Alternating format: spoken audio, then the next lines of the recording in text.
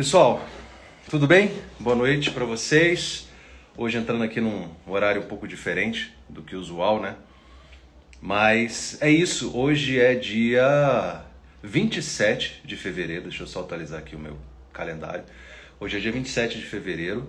Hoje é o dia 58 do ano, estamos na oitava semana do ano. Já caminhamos 15,9% e a lua é minguante. Hoje é dia de São Leandro para os católicos, dia do agente fiscal da Receita Federal e dia do livro didático, dia 27. É isso. Estamos aí nesse feriadão aí. E vamos lá. Eu eh, fiz um atendimento hoje de uma aluna. Eu tava, tô meio suado assim, pessoal, aqui minha cabeça tá um pouco molhada, não sei se vocês estão vendo. Tô aqui treinando umas músicas para tocar no meu aniversário. Vou chamei uma banda, tem uma banda, mas eu chamei uma outra banda, vai ter duas, três bandas tocando, vai ser muito legal. Eu tava tirando umas músicas aqui, uns rock and roll da vida aqui. Depois eu passo até uma palhinha aqui para vocês. Vocês vão me falar se tá saindo ou se tá, precisa treinar mais. Com, com certeza precisa treinar mais. Então, é, hoje eu, eu queria falar de uma coisa porque eu, eu quase todos os dias, praticamente todos os dias, atendo alunos do programa, né? É, os, alguns alunos recebem atendimento individual em determinadas circunstâncias, quando terminam, é, alguns por sorteio, etc. Então, é um atendimento individual. E hoje, é, uma aluna que já tinha terminado o programa e ela falou: Olha, eu senti uma evolução muito grande, o programa me ajudou e agora eu tô naquele momento que eu preciso, minha pontuação tá alta, mas não alta o suficiente para passar. E por que está tá acontecendo isso? Porque muito provavelmente o que o que ela está enfrentando é um problema que a maioria de vocês está enfrentando, que é a nota de corte subiu assustadoramente, está muito alta, e é muito difícil você conseguir subir também rapidamente a sua própria nota de corte, porque você tem ali um padrão, mais ou menos um nível, e tem muito esforço para você é, variar fora da margem de erro, vamos dizer assim. Né? Essa é uma dificuldade que todos os alunos têm, a maioria dos alunos tem. E eu, é, para mim, a pergunta que eu faço é, que ela fala assim, o aluno ou a aluna fala assim, tá, eu preciso melhorar. Aí eu pergunto assim, tá, mas o que você precisa melhorar? Ela, por isso que eu estou conversando com você, professor, preciso saber o que eu preciso melhorar. Você tem as respostas. Aí eu faço, eu dou uma de mestre Jedi, né? Eu falo assim, olha, as respostas estão dentro de você. mas a verdade é que é, quando eu pergunto assim, tá, o que você precisa melhorar e como você precisa melhorar, isso depende de um diagnóstico que provavelmente você não está fazendo nos seus estudos. Isso depende de um diagnóstico muito importante. Fala, minha filha. Tá, papai tá numa live aqui, tá? O cachorro pegou a boneca dela, agora já viu, né? Então, é, o cachorro deu mole, meu amigo, chinelo, tênis, boneca, o bicho destrói mesmo. Enfim, então, é, é, é um elemento tão importante, tão essencial e que eu não vejo as pessoas fazendo, que é o diagnóstico do estudo. Legal, então o que, qual é o problema? O problema é, eu cheguei num platô, né, essa é a palavra, eu cheguei num platô e não consigo evoluir a partir daquele ponto. Tenho muita dificuldade, eu estou estudando, estou fazendo a minha parte, mas eu não consigo evoluir daquele platô. Esse é o problema. Qual é a solução para te, te ajudar a dar um salto muito mais rápido do que simplesmente continuar nadando no, no mar aberto?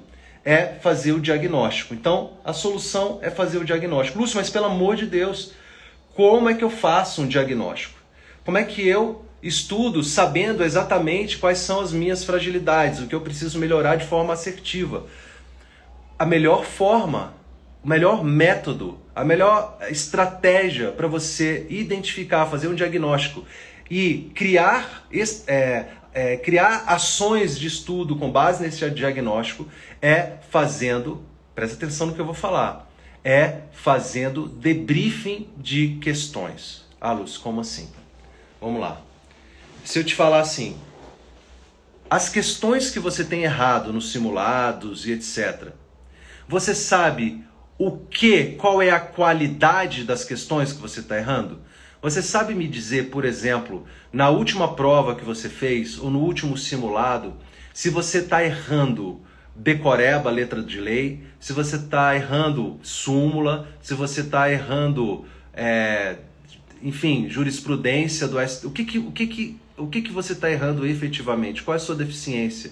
Em direito penal, você tem acertado as questões de prescrição mais do que de crimes contra a vida? Ou tem acertado menos de crimes contra o patrimônio do que crimes contra a administração pública? Quando vem é, uma questão de crimes contra a administração pública, você se sente mais seguro do que crimes contra a fé pública?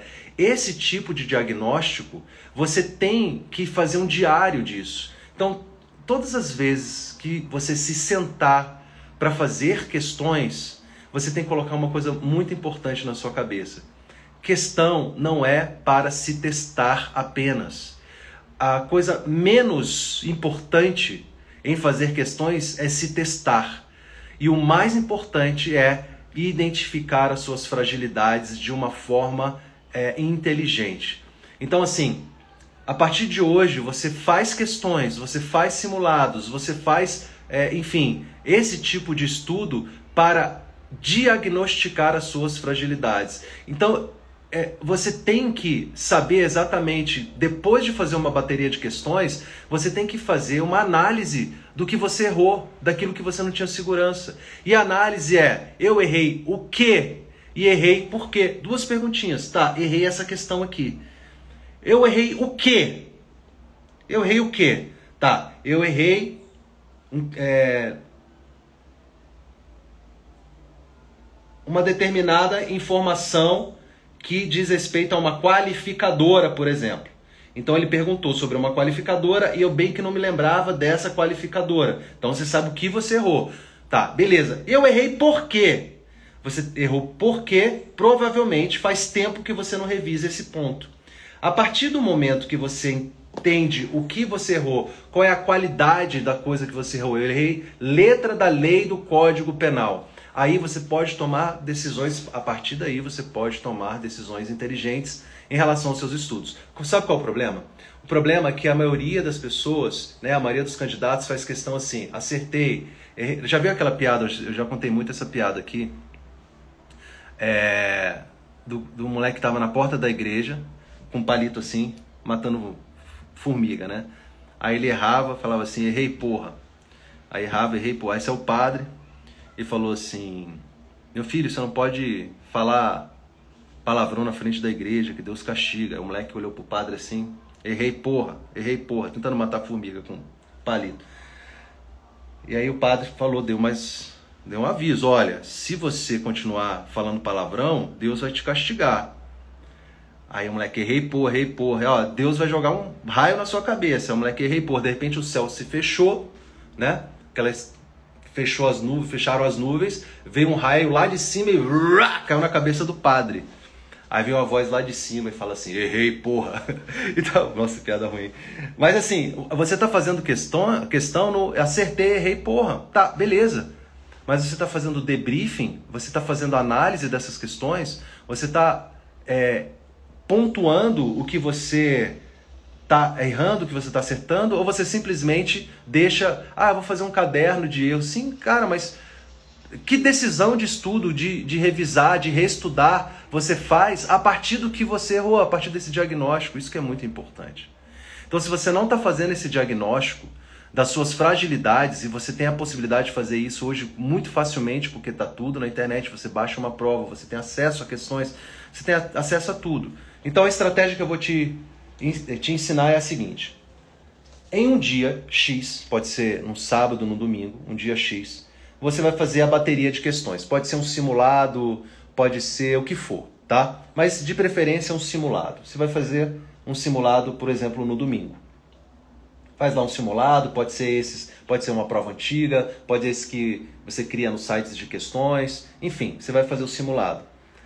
Durante a semana, durante a semana, você vai, você vai separar as questões que você errou, que você não se sentiu muito seguro, e você vai criar uma estratégia de revisão daqueles pontos em relação aos quais você errou. Então, não basta fazer o simulado, errar e pegar as questões erradas e jogar no caderno de erro.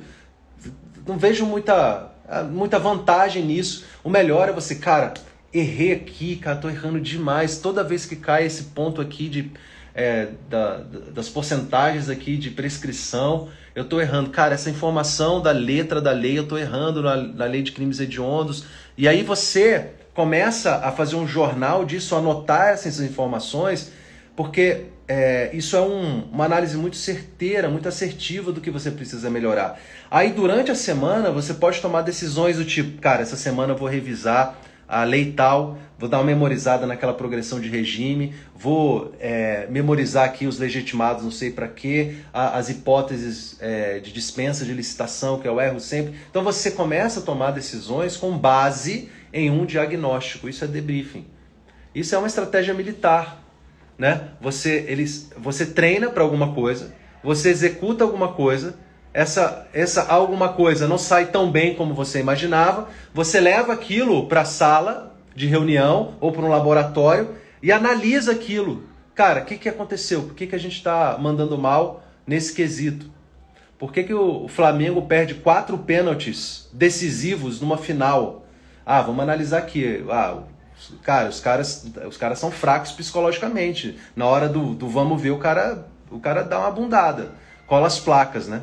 Então, beleza, então vamos chamar a psicóloga, então vamos fazer isso, vamos fazer aquilo. Então, assim, um psicólogo, uma psicóloga. Então, assim, é, você toma decisões com base na análise das suas deficiências. Aí você pode tomar boas decisões. Do que você vai estudar, do que você vai revisar.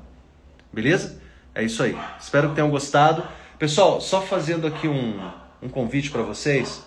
Amanhã, 10 da manhã, amanhã, segunda-feira, às 10 da manhã, eu vou fazer uma live com o mapa de incidência para falar sobre o mapa da incidência do delegado PC São Paulo. Vai ser no YouTube, tá? Vai ser no YouTube. E eu queria muito que vocês fossem, comparecessem nessa live, vai ser muito legal. E eu vou criar ali, vou, vou jogar luz ali naquele edital para que você crie uma estratégia assertiva e certeira para essa prova. E essa prova, é, tenho certeza que você pode morder ela com com muita gana, muito gosto, tá? Beijão, obrigado aí, tá aqui nesse domingão comigo e espero vocês então amanhã às 10 horas, tá? E o pessoal aí do programa Meta, hoje tem, do, da turma 64, hoje tem aula, tá? Eu vi aqui já uma aluna, então é isso aí. Um abraço, não é sonho, é meta, até a próxima, tchau.